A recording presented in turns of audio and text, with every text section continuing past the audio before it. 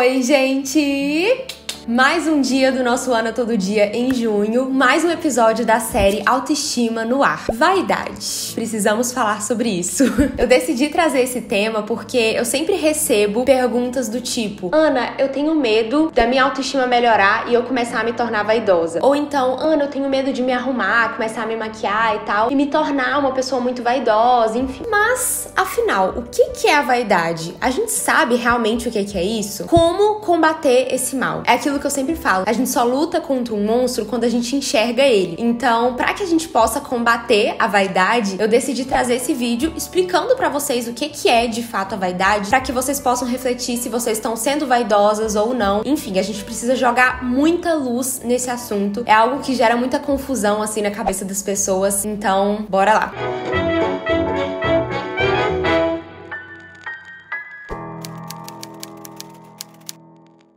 A palavra vaidade vem do latim vanitas. Eu não sei se é assim exatamente que fala, mas vem do latim vanitas de vanus, que quer dizer vão, vazio. Guardem muito bem isso, que vocês vão ver que faz todo sentido no decorrer do vídeo. A pessoa vaidosa, ela sempre quer ser reconhecida por aquilo que ela faz, porque aquilo que ela faz é algo visível aos olhos. E o vaidoso quer sempre esse reconhecimento, sabe? E assim, existem pessoas orgulhosas. A pessoa orgulhosa, ela sempre quer ser a melhor. Ela sempre quer ser a melhor em tudo. Ela não aceita que ninguém seja melhor que ela. Ela nunca quer ser inferior. Ela sempre quer ser superior. Essa é aquela pessoa orgulhosa. Mas o vaidoso, ele não quer ser o melhor. Ele quer parecer o melhor. Então, pro vaidoso, por mais que ele não seja o melhor, mas que ele pareça ser, por ele tudo bem. Por isso, o significado de vazio, né? O vaidoso, ele pode ser vazio por dentro, mas se por fora as pessoas acharem que ele tem algo, que ele é algo, para ele,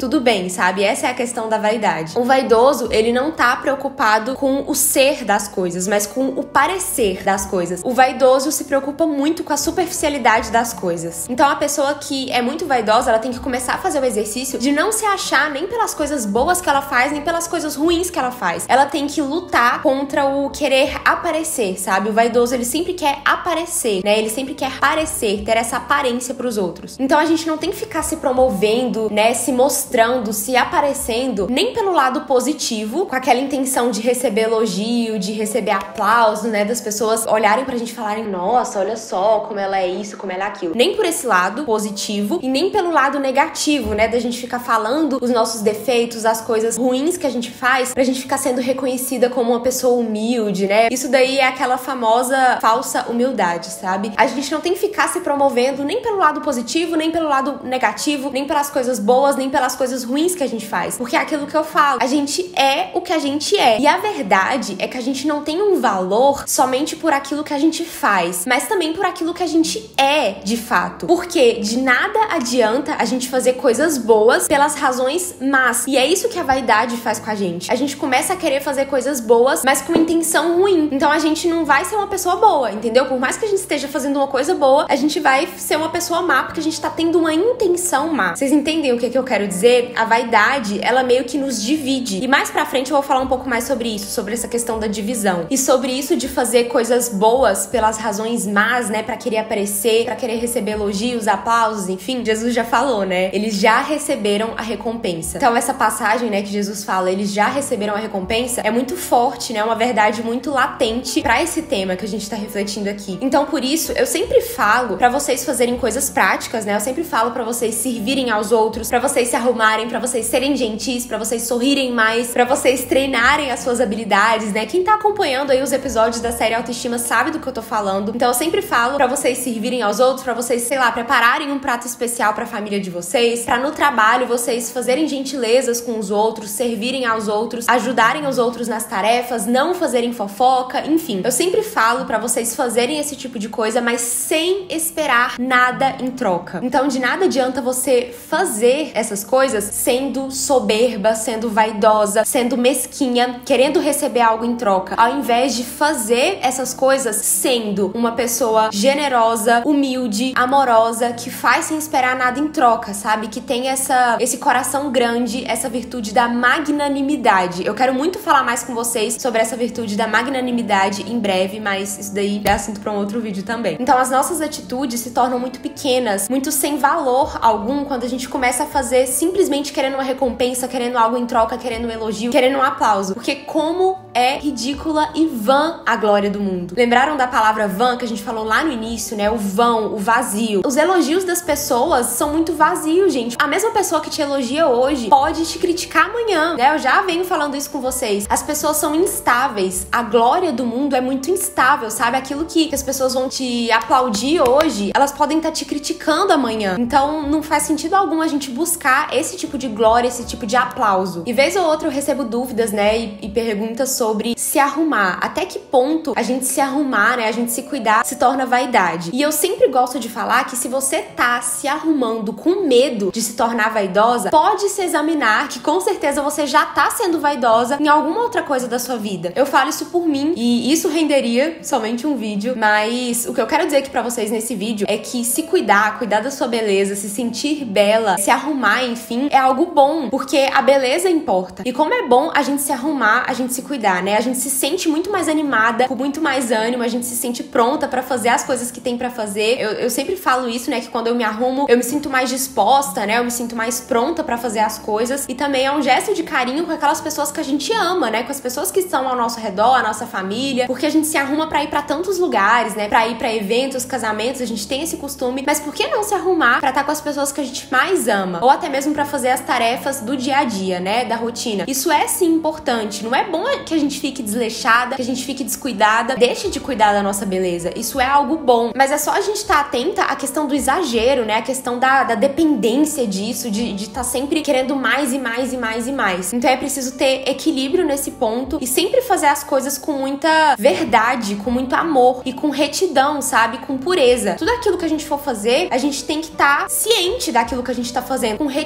mesmo de intenção. Porque a vaidade, ela nos deixa divididas, né? Eu, eu comecei a falar disso, né? Que a vaidade deixa a gente dividida, porque é como se a gente tivesse sempre um segundo eu. E esse segundo eu fica falando para você mesma coisas do tipo: nossa, as pessoas vão te elogiar por causa disso. Se as pessoas vissem isso que você tá fazendo, se chegasse alguém aqui agora e visse essa sua atitude para ver como você é uma pessoa boa, é como se a gente ficasse de fato dividida e esse segundo eu ficasse falando coisas ali pra gente, sabe? E aí você fica sempre esperando esse algo, né? Sempre esperando que as pessoas te elogiem, te admirem, te reconheçam. E aí que você começa a se tornar uma pessoa hipócrita, porque você vive como se fosse um personagem, né? Você vive dividida, sempre querendo aparentar algo para as pessoas e não importa muito o que você é de fato, e sim aquilo que as pessoas estão vendo que você é, que você faz. Mas o que eu quero dizer para vocês é: não esperem nada em troca. Façam as coisas boas porque são boas e pronto, com retidão de intenção, sem querer aparentar algo, sem querer receber algum reconhecimento, sem querer receber algo em troca, porque a gente não merece nada em troca. Eu tava falando que a gente não tem valor simplesmente por aquilo que a gente faz, mas sim por aquilo que a gente é. E a gente é porque alguém é, porque alguém primeiro nos deu a vida, porque alguém que é fez com que a gente fosse. Nós só somos porque alguém, um alguém muito maior do que a gente, nos deu o nosso ser. E ele nos dá algo, alguma virtude, alguma coisa quando ele quer e nos tira quando quer. E louvado seja ele,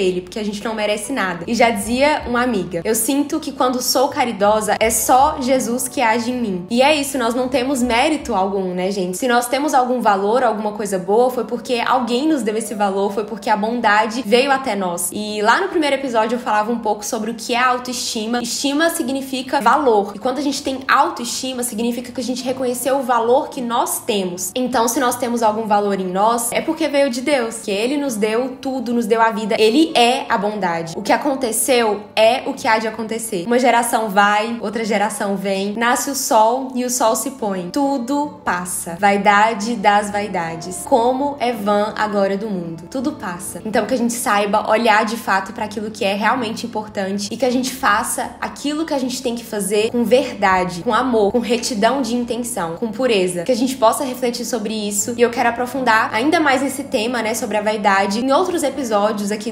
da série sobre autoestima, porque eu vejo que a vaidade e a autoestima tem muita coisa assim interligada que a gente pode refletir, que a gente pode ir aprofundando cada vez mais. Não esquece de compartilhar esse vídeo com alguma amiga que você sabe que vai gostar dessa série, porque é como eu sempre falo, essa série, ela é um caminho, um caminho para quem realmente quer se conhecer, quer amadurecer, crescer, enfim. Um beijo, fiquem com Deus e até a próxima. Tchau.